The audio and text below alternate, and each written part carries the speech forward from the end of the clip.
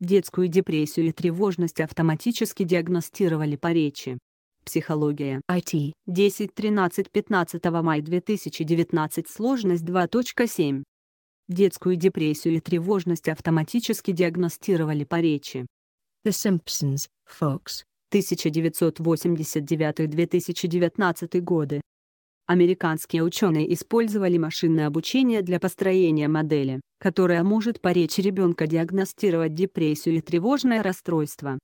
Им удалось добиться точности диагностики в 80%. В качестве материала они использовали записи рассказов детей, во время которых экспериментатор несколько раз их прерывает.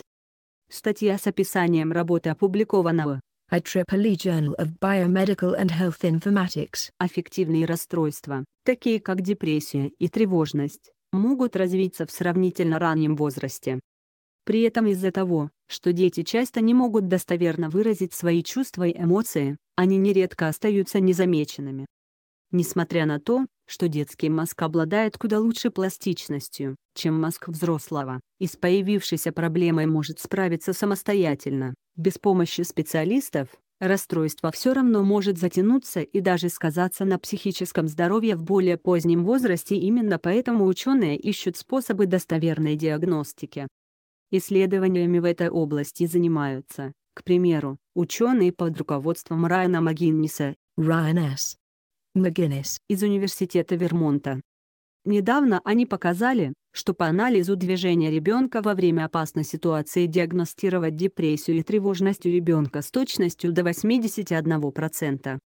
В новой работе они сосредоточились на диагностике депрессии и тревожного расстройства ребенка по речи. Для этого ученые использовали записи историй, которые рассказал 71 ребенок в возрасте от 3 до 7 лет. Каждая запись длилась 3 минуты. Дважды за это время, через 30 секунд и через полторы минуты, звучал гудок, после которого экспериментатор уведомлял ребенка о том, сколько времени у него осталось.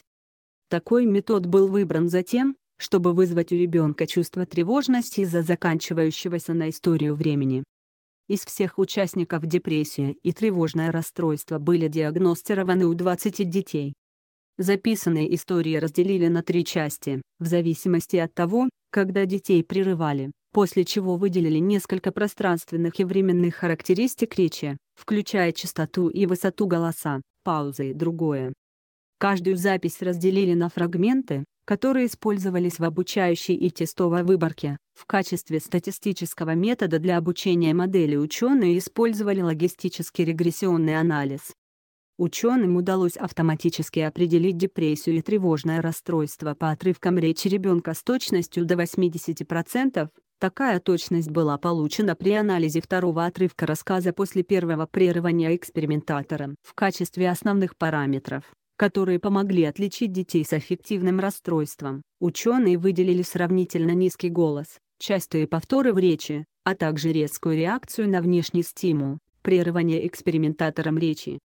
Авторы работы, таким образом, показали, что автоматический анализ речи ребенка во время короткого воздействия вызывающего тревогу стимула может быть действенным способом диагностики в раннем возрасте. Ранняя диагностика, в свою очередь, может помочь своевременно начать лечение или профилактику. В сентябре ученые из Массачусетского технологического института показали, что диагностировать депрессию по речи пациента можно, используя даже не связанные с тревогой и отрицательными эмоциями отрывки речи.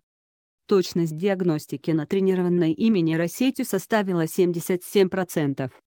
Елизавета Евтушок,